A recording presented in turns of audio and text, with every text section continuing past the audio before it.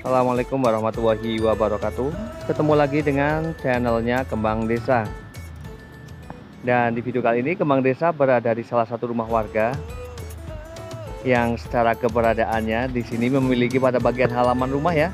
Ini sangat luas sekali Dan masih alami sekali tanpa dicor. Namun keadaannya dibilang sangat bersih ya. Tidak ada sampah-sampah plastik. Hanya sampah-sampah ataupun dedaunan dan bunga yang berjatuhan pada bagian halamannya. Yang pastinya berarti itu menandakan pemilik rumah ini ini sangat telaten ya untuk mengurus tanaman-tanaman hiasnya.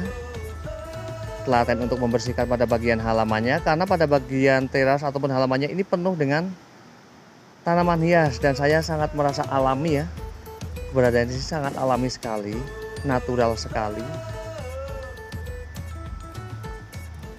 Ini berada di samping rumah yang keberadaannya juga sangat bersih seperti ini. Menjadikan tanaman-tanaman hias tersebut ini terlihat sangat indah. Dan pertumbuhannya juga terlihat subur-subur ya tanaman-tanaman hiasnya.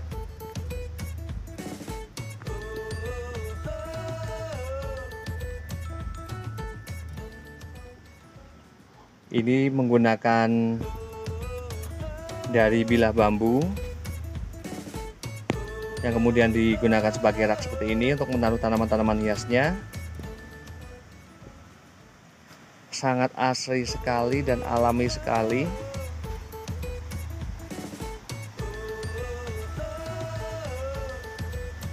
Suasananya sangat adem juga hawanya adem banget seger banget. Nah padahal udah jarang ya melihat sesuatu yang asli, yang asli seperti ini. Benar-benar nyaman saya berada di sini.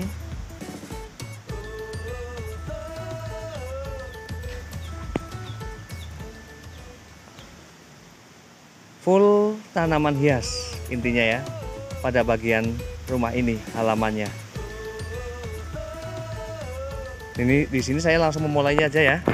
Di sini ditaruh tanaman ini. Ini krokot ya.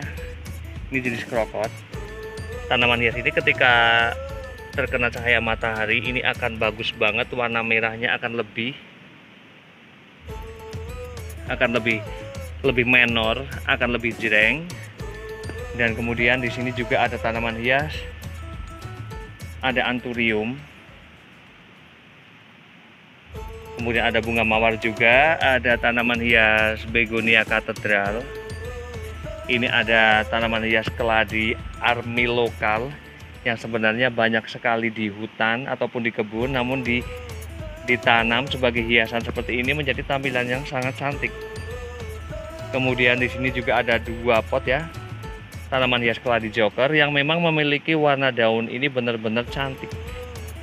Sempurna banget dan di sini juga sudah banyak sekali beranak pinak.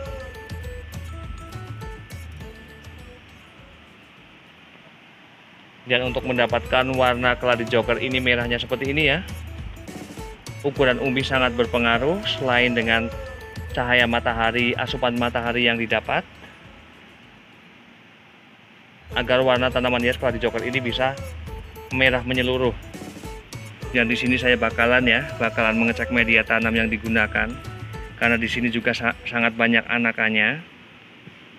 Di sini hanya menggunakan bagian atasnya. Di sini ditaruh pupuk kandang bagian bawah awal penanaman. Di sini ada tanah menggunakan tanah. Ini pupuknya hanya ditaruh pada bagian atasnya saja. Dan juga ada tanaman hias ada keladi tisu sama ya menggunakan media tanam tanah. Kemudian juga ada tanaman hias keladi Freda Hemple. Warnanya bagus banget. Rimbun banget indah banget. Dan kemudian di sisi sini samping di sini ada tanaman hias ada Adam Hawa. Kemudian juga ada Kaladiva ini ada sekulen Ini ada begonia violces, ada pilea juga. Kemudian tanah ada tanaman hias, ada keladi gingerland.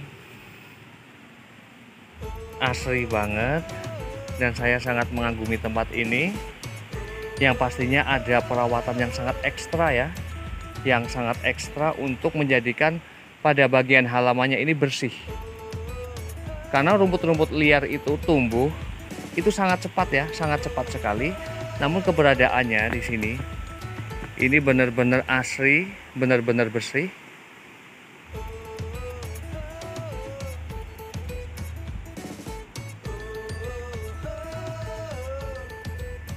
Kemudian saya bakal melihat pada bagian sisi sini ya, samping sini.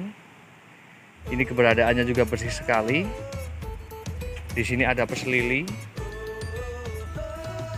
Kemudian juga ada sirih gading, ada tanaman hias, alokasi loba, ada keladi baret, ada sansevieria metallica atau putih, juga ada silindrika. Dan untuk menaruh tanaman-tanaman hiasnya di sini hanya membelah dari bambu yang kemudian dibuat seperti ini. Ini sangat cantik sekali ya. Menjadi tatanannya itu menjadi rapi. Ada anturium Mickey Mouse juga. Keren banget.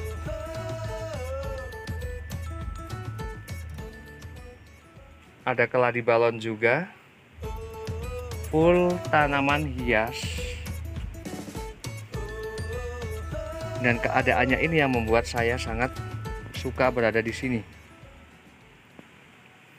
Kemudian juga ada andong di sini ada begonia rex silver juga ada begonia silver wing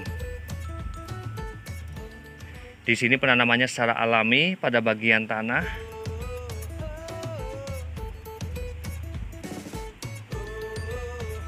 Ada tanaman hias amarilis juga. Ada miana. Dan pada bagian samping di sini juga memanfaatkan lahan yang kosong ini dijadikan sebagai kebun jagung juga ada sayurnya pada bagian bawah. Sangat indah sekali ya. Dan di mana pun tempatnya dan keberadaannya ketika memang ada kemauan untuk menanam tanaman hias ataupun tanaman-tanaman sayuran maka yang ada imbasnya ya pada bagian halamannya ini akan terlihat seperti ini bersih rapi asri dan juga indah.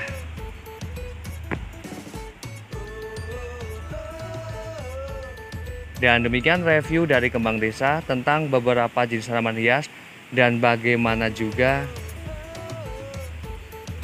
pemeliharaan terhadap halaman dan lingkungannya agar terlihat bersih yang pastinya perlu kerja ekstra untuk menjadikan sesuatunya ini menjadi lebih lebih indah ya. Semoga bermanfaat dan saya akhiri wassalamualaikum warahmatullahi wabarakatuh. Terima kasih.